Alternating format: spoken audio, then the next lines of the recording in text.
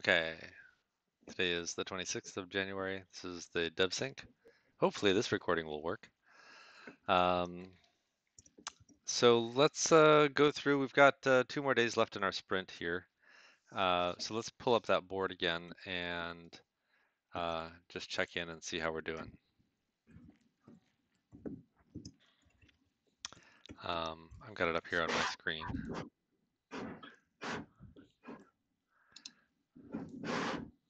But uh, Chris, can you pull it up and share it? I think it tends to work a little better that way.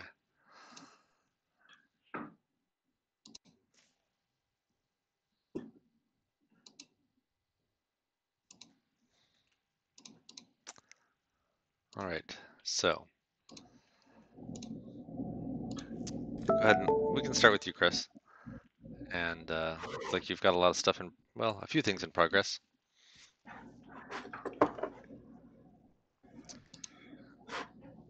How's the uh, Travis migration going, aside from you being muted? Oops. Um, Travis migration is doing okay. Um, I found out today that the coverall stuff we use for code coverage is not supporting um, the output from PyTest in the GitHub Actions. So um, I am looking into, and I wanted to bring this up and make sure this wasn't some any scope creep of any sort. Um, but what I was looking at was switching from coveralls to um, Cov. I'm gonna bring up the ticket.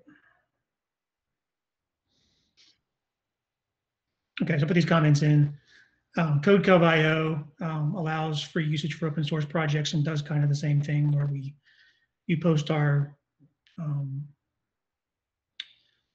our results, our code code results up there, and you can see, you know, the, the results. You can see differences between runs. And um, the other thing that the coveralls did that this will also do is to keep that uh, our test testing percentage um, in our README file. Um, so um, I was going to go ahead with that unless um, unless there's an objection. Um, that's the only thing left to do, really. it's the rest Okay. of it works.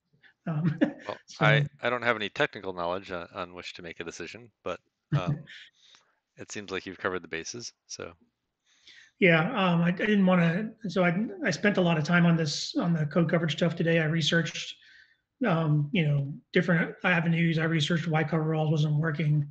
Um, so I, I thought I'd be able to move on to something else today, but I did not. So, um, hopefully I can finish this, this afternoon and, and then move on to something else tomorrow, but that's kind of where, sounds good to me. where it happens.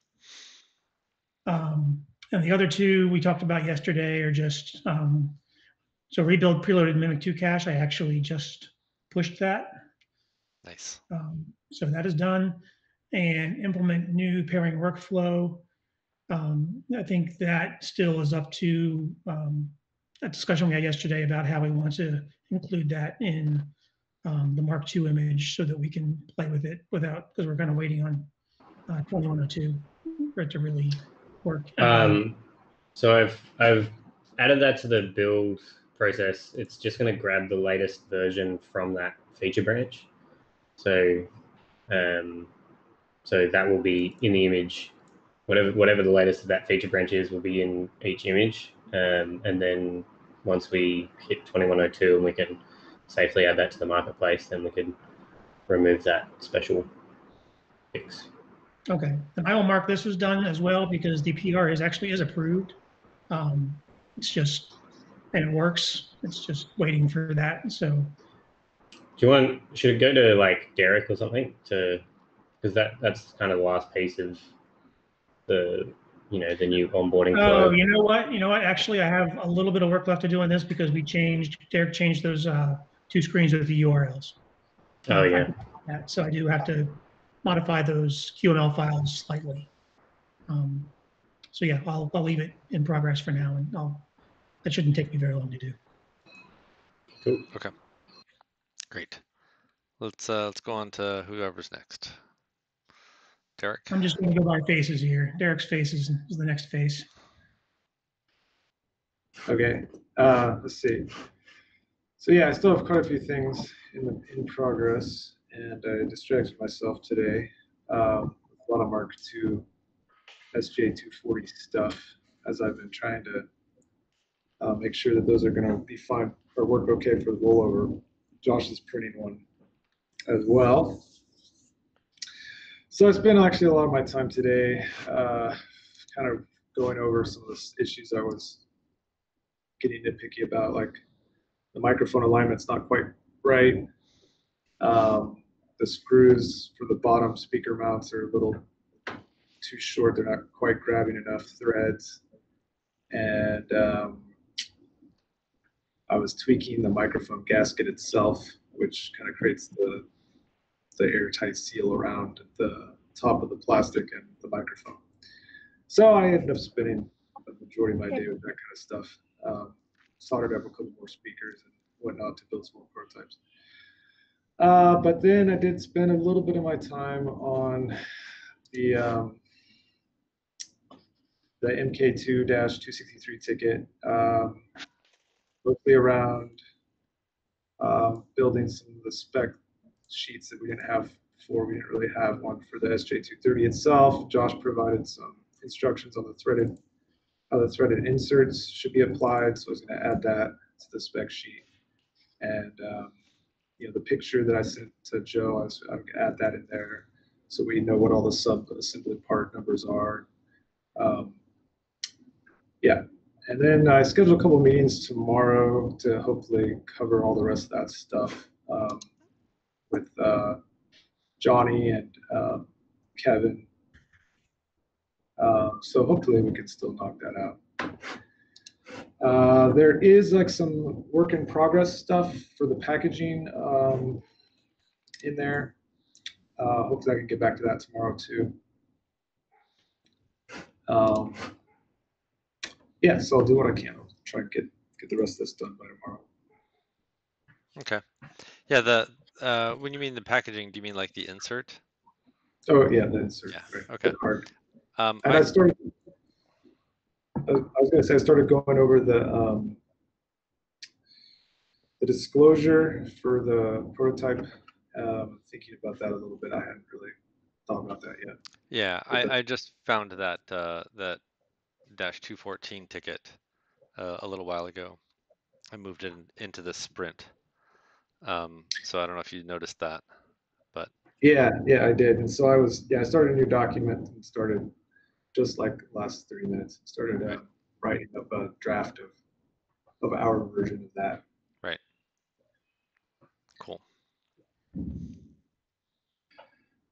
So yeah, that's where I'm at. Hopefully tomorrow will be more just on that stuff and um, less on the SJ240. All right.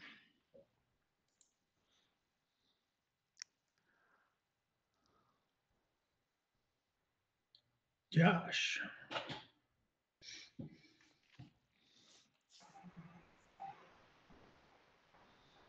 The second one's done. All the parts are are in movement. Uh, I'm not actually making a video. I made a instructable, but I'm I'm not done. It it needs to be published effectively. But all the crop images are cropped and all the instructions are in there and all the pictures are taken. I didn't even realize I had tickets. Uh, and then I uh, I really do need to figure out how to make Jira part of my workflow. Uh, I got the uh, uh, I got the first round of Mark II or Mark the printer. Um, the PETG stuff strings a little bit, but all in all, it's pretty solid. And uh, uh, anyway, so I'll assemble that today. I have three SJ201s that are bound for our rollover. Um, so as soon as we have software to go with those, or we have software that um, is uh, that will update itself automatically. We can put those in the mail as soon as I assemble them. Uh, I will say the image that I'm using up in the kitchen right now did crash. Um, I don't know what caused it. I honestly don't know what image I was using. Uh, I'm using I I went back to Gez's uh, uh, I, I'm, I'm loading up the one that Gez made me yesterday. Um, anyway, I'll push that one to production here at the house and then give you guys feedback tomorrow. Hey Josh, I just thought of something. Um, do you have any fans? Uh, I just realized that you might not have fans for these. Yeah, I bought some, uh, I bought some of these. Uh, NF A410 premium cooling fans. Uh, they're from Moe's printer, but, uh, it's the right size for this, so it's fine. Um, we can use, the right? Yeah, it's got a connector on it. Well, I mean, it's the right four pin deal we've got. They've got a bunch of it. They've got a bunch of adapters in here too. So uh, anyway, yeah, I can use these. If not, I can get them from Amazon for like I think this was like twelve bucks, and it's really well viewed. They're like fifteen dBA or something. They're very quiet. Cool. Just double check, make sure those will work with our board. Okay, I'll try not to to burn it out. Our our board's pushing twelve or twenty four, Michael. 12. Okay, then it should work fine. Yeah, and if you connect it, uh, depending on how the connectors are oriented, um, the four pin connector should just work fine. Uh, but if it's got an adapter in there to make it a two pin connector, that'll force it to just be on always. So you can do it that way if you want to. Sure, I'll hook it up and get it going. And uh, other than the stringing on the print, which is the material and the printer settings, not Derek's drawings, I think we're good. Um, but Derek and I do need to continue to go through and, like he was talking about, like tweaking the last little things. Um, I guess finally, I don't know if I told you this, but I got I got in touch with Steve Michon at uh, Zero Tolerance. He has room for us.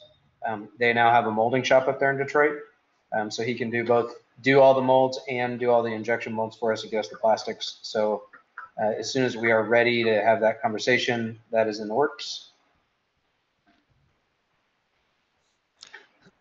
All right, that's great. Okay, who's next? Ken? Ken. So I'm still working on the uh, overflows, but I made some progress. Uh, was able to get rid of them at the lowest level where I wrote a chord audio driver, so that record no longer gets them. I found some obscure, it was a fix that it said shouldn't have been needed for newer versions of the kernel, but I don't know what that means. Um, that seems to work. Problem is when I extend it up to Mycroft now, um, it's not working as expected. So that's where I'm at. But I do believe I've fixed the problem or at least got the proper patch in place for the low level also overrun issue. Hmm, that's great. Yeah, that's really good.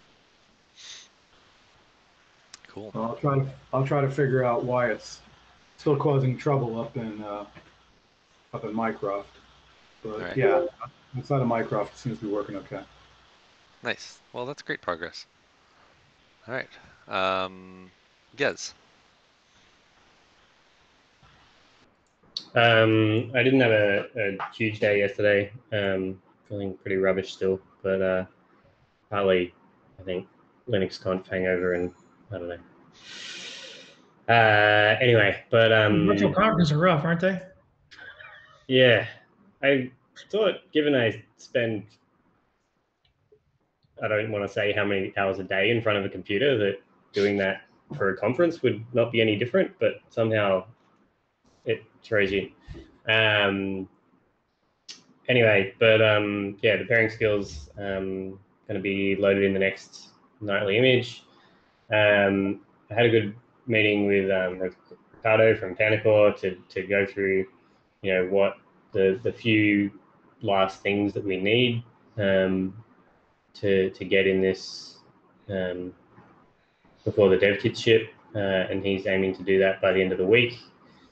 Um, the the buffer overrun stuff, I it sounds like this was accurate, but I've, I've said that that's not on them at the moment, which sounds sounds like is the right choice.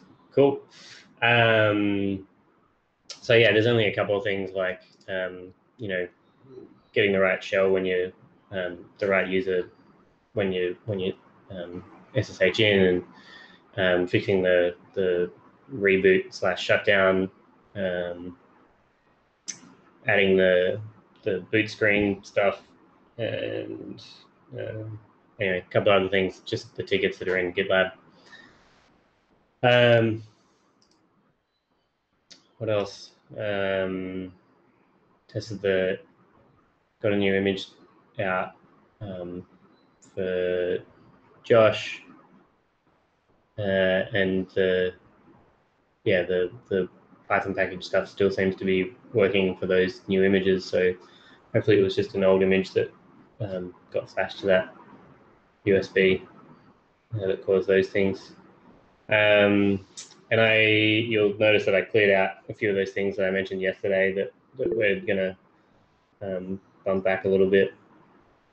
Um, so yeah, looking pretty close to getting this all finished off by the end of the sprint with our one day remaining. Right. Okay, well there's there's two ones that are still marked as to do in your list. Um, and you know one of them's kind of a big one. Uh, well, to me anyway. Um, they both actually look fairly significant. The creating a process for rollover to develop their skill on the dev kit. Um, Well, it could be So- a one-off. It doesn't have to be through the back end, right? Uh, but as long you know that's that's something that's going to hold up uh, sending us devices to rollover. in in my mind, that is an email. Like Okay. big, yeah. All right. Um, As long as know, it's doable that way, that's fine. But, um, and the other one is the the MSM unable to install system packages. Um, Yeah. So um, this is one of three things. Uh, either it's uh, an issue in MSM, either or an issue in pako, which is a little library that installs system packages across different package managers um, that Matthew Scholefield wrote. Uh, uh, or it's um, a user permissions issue. So Pantacor is also going to have a look at that, Okay, which is good. got it. So They're also yeah, keen to tie this off. right. Okay, so the, it's got their name in front of it, so I assume that means that they're taking point on it right now. Yeah, Okay. yeah. So is it actually in So- progress or is it still to do? Uh, it was to do as of 12 hours ago. Okay. Um, and I haven't seen anything to indicate otherwise yet. Got it. So, so That should be done by the end of can't- the week. Does that Right. mean we can't install, uh, we can't install new skills on the system right now? You can't install certain skills. So um, Pandora, for example, anything that requires a a system package. Hmm. So Pandora, uh, there's not too many of them to be honest. Like the desktop control skill, which you wouldn't use on on a Mark II. Uh, Alright. I have to go and look. Yeah, All right. So it's not critical right now. no, and it's it's definitely fixable. Like it's it's one of three very clear problems. Right. Okay. Great. Uh, so last uh, person here is myself. Well, and Kevin, but uh, Kevin got stuck in a snowstorm, so he's actually not even back yet from his trip to the mountains. Um, so uh, as for me, I closed out a couple of things. Uh, the worksheet uh, system for tracking inventory that's done. Um, I need to talk to the uh, biz team about making sure that's fully populated properly. Um, but that's a separate issue. Um, I actually marked as won't do for the the uh, ticket I made for myself about checking the clock stability because I think that was a red herring. Um, and uh, so in progress, I have my get organized uh, one. Um, so I think we're actually doing most of this. Uh, but um, I've got a. Uh, I do want to. Um, I'm gonna hit up a couple of you guys uh, over the next few days to uh, talk about some ideas about um, uh, how we're handling sprints and uh, and that sort of thing. Um, but otherwise, I think we've actually implemented all of this stuff. Um, I do, you know, I want to get to the point where we're doing a weekly demo, and those demos are going to be not just about tech, but it's also going to ultimately it's going to be, you know, um, on the business side, we'll be doing weekly reviews of, you know, uh, uh, users and like how many new users are we picking up, how much conversion are we getting, and stuff like that. So we'll be doing, you know, not just demos of the Mark II, but demos of the Selene and and that kind of thing. Cohort analysis and A/B testing and usage statistics from people who opt in and feature development and all of the stuff that it will take to make us relevant. Exactly. Um, and as far as the, the firmware for the SJ201, I can't do anything like that uh, uh, about that until I get my uh, my actual Mark II device, which I don't have because Kevin's still in the mountains. So, um, so there you go. That's my update. I got a question. Um, how's the production with the PCBA house? They're expecting to get their uh, the the revised um, PCBs uh, on Thursday. And so uh, if they get them Thursday and we give them the go ahead, they can start production that day. And they said it's about two or three days to get things produced. So, you know, we should say, you know, expect production to be done by Tuesday. Um, was there? Cool. yeah. Um, so things are moving along there. Um, as long as we, uh, one outstanding issue that I have to talk with Kevin about is the uh, the testing jig. We need to make sure that they're coming off the line and working. Um, so we've still Sure. got that on our to-do list, but um, that's the only thing that could really hold it up right now is if if the testing process isn't complete in time. Otherwise, they have all the parts they need to just start production right away.